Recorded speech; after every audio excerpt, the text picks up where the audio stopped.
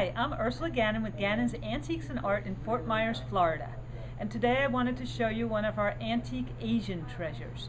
And right here what we have is a matched pair of tea caddies. These are porcelain, hand painted. They're Chinese export Famille Rose tea caddies.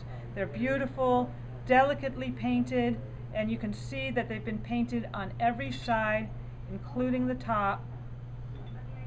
And the motif are little flowers and butterflies.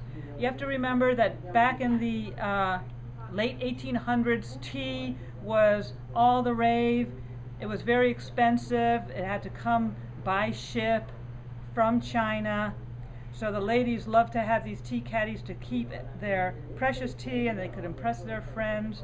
And so this would be, have been a form that was, that was very desirable in the time and it would look great in a home, very decorative. These are in excellent condition. They look like almost brand new as far as there's no cracks, no chips. They have their original lids. Everything is perfect. They sit on four little feet each. And on the bottom, you can see that they have the red, let me put it this way, the red overglaze mark that says China.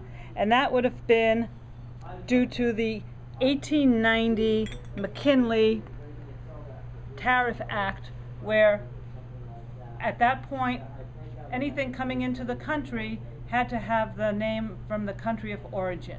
And then around 1911 they changed it to where you had to also have the words made in.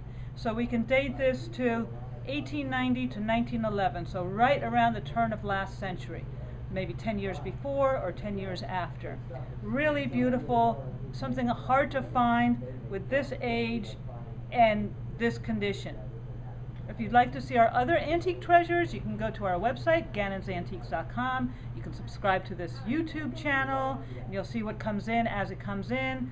Or you can come to Florida, have a great vacation, come to Fort Myers and see our 20,000 square foot antique mall. It's chock full of great treasures.